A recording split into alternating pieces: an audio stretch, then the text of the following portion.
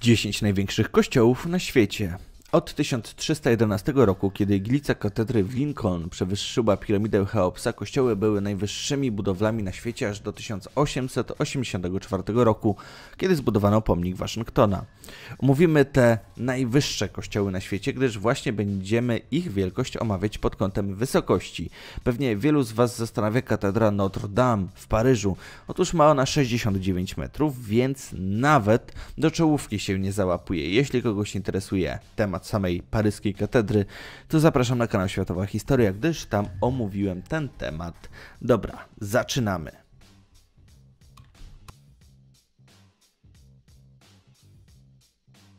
Bazylika Świętego Piotra w Watykanie. Wedle tradycji bazylika stoi na miejscu pochówku świętego Piotra, uznawanego przez katolików za pierwszego papieża. Jego grób leży pod głównym ołtarzem.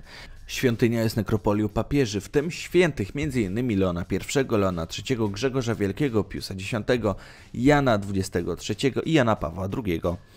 Czołowe dzieło architektury renesansu i baroku z bardzo bogatym wystrojem wnętrza, gdzie znalazły się również zabytki pochodzące z dawnej konstantyńskiej bazyliki zbudowanej w tym miejscu. Bazylika Watykańska jest drugim co do wielkości kościołem na świecie pod kątem powierzchni i jednym z największych świętych miejsc katolicyzmu.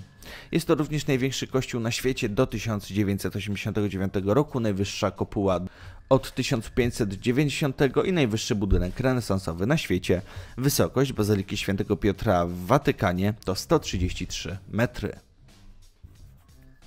Nowa katedra w Lindzu. Koncepcja nowej katedry została podniesiona w 1855 roku przez biskupa w liście pasterskim, w którym wezwał wiernych do zbudowania w Lincu kościoła dla uczczenia ustanowienia 8 grudnia 1854 roku dogmatu o niepokolanym poczęciu Najświętszej Maryi Panny. Katedra ma 20 tysięcy miejsc stojących dla wiernych, co czyni ją największym, choć nie najwyższym kościołem w Austrii. Pierwotnie planowano budowę wyższej wieży, ale plany te nie zostały zrealizowane, ponieważ w czasach Austro-Węgier budynek nie mógł być wyższy niż wieża południowa z katedry świętego Szczepana w Wiedniu. Wieża o wysokości 135 metrów jest o 2 metry niższa niż ta w Wiedniu. Podczas II wojny światowej część okien, zwłaszcza w południowej części katedry, uległa zniszczeniu. W miejsce zniszczonych witraży zamiast odtwarzać dawne wzory stawiono nowe stworzone w duchu sztuki współczesnej. Oficjalna wysokość nowej katedry w Linzu wynosi 134 metry.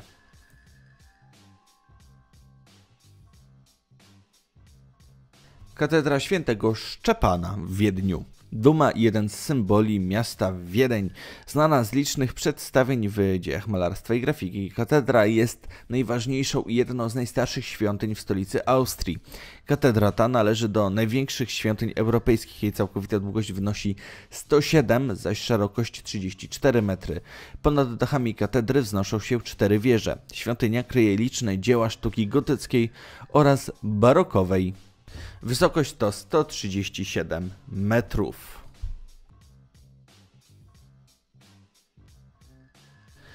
Bazylika Najświętszej Maryi Panny Licheńskiej w Licheniu Starym. Obecnie największy kościół w Polsce, znajdujący się w województwie wielkoporskim w gminie Ślesin w miejscowości Licheń Stary. Położony jest na terenie sanktuarium Matki Bożej Bolesnej Królowej Polski w Licheniu Starym, ważnego katolickiego ośrodka religijnego w kraju. Budowlę zniesiono dla upamiętnienia objawień których świadkami byli Tomasz Kłosowski i Mikołaj Sikatka. Do kościoła prowadzą 33 stopnie, ich liczba nawiązuje do lat życia Chrystusa na ziemi. W świątyni znajduje się 365 okien symbolizujących liczbę dni w roku kalendarzowym, 50 dwa otwory drzwiowe symbolizujące liczbę tygodni w roku kalendarzowym oraz 12 kolumn symbolizujących 12 apostołów. Zgodnie z zamysłem architektonicznym bazylika przypomina falujący złoty łan zboża. Przejawia się to w dekoracji roślinnej placu przed świątynią oraz w architekturze samej świątyni. Zauważalne jest to m.in. w oknach wypełnionych szkłem o odcieniu złotowo-bursztynowym z aluminium w formie kłosów oraz kolumnach w portykach i we wnętrzu świątyni. Wysokość to 141,5 metra. Katedra Najświętszej Maryi Panny w Strasburgu Najwyższa świątynia katolicka miasta, cenny przykład średniowiecznej XIII i XV-wiecznej architektury, łączącej cechy późnego romantyzmu z przede wszystkim wczesnym gotykiem francuskim i dojrzałym gotykiem niemieckim, zawierająca zarówno na zewnątrz, jak i w środku liczne cenne dzieła średniowiecznej rzeźby kamiennej, m.in. portale południowego ramienia transeptu. W latach 1625-1874 najwyższy budynek na świecie, najwyższy XV-wieczny budynek na świecie. Kościół Świętego Mikołaja w Hamburgu. Był do II wojny światowej jednym z pięciu głównych kościołów Starego Miasta. Po wojnie zdecydowano się pozostawić ruiny kościoła jako pamiątkę ofiar wojny.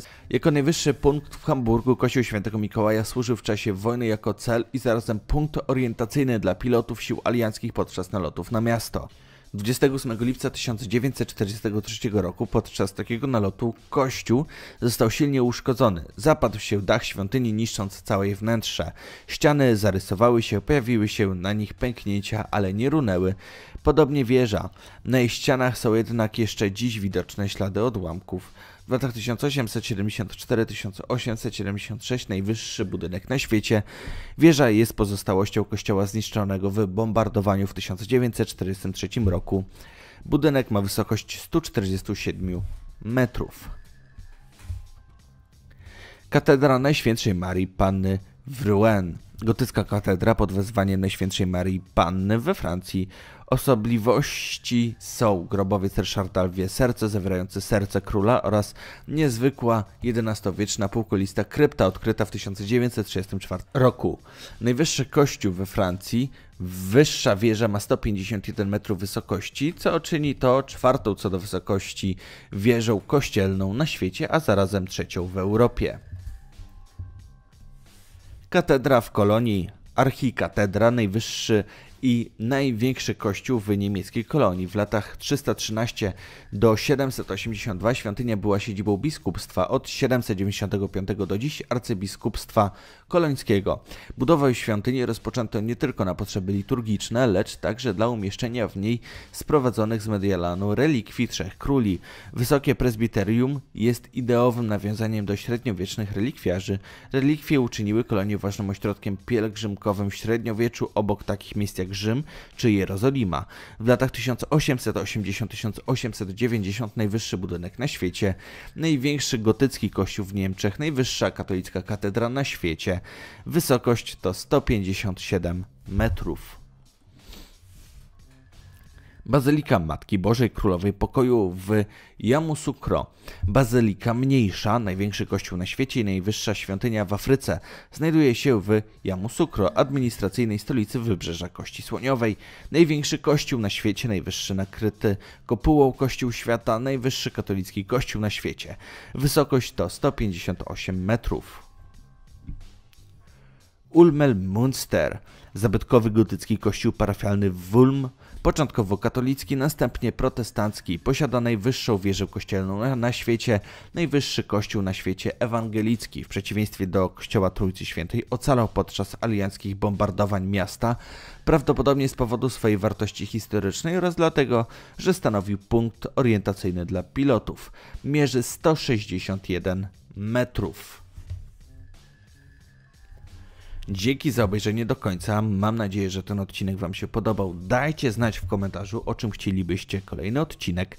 Ponadto zapraszam Was na kanał Światowa Historia, gdzie poruszałem temat katedry Notre Dame. Opowiadam tam jej historię oraz wspominam o właściwie najważniejszych wydarzeniach historycznych, które miały miejsce właśnie w tej katedrze oraz uzasadniam, dlaczego ta katedra jest tak bardzo istotna i dlaczego jej zniszczenie jest tak bardzo tragiczne.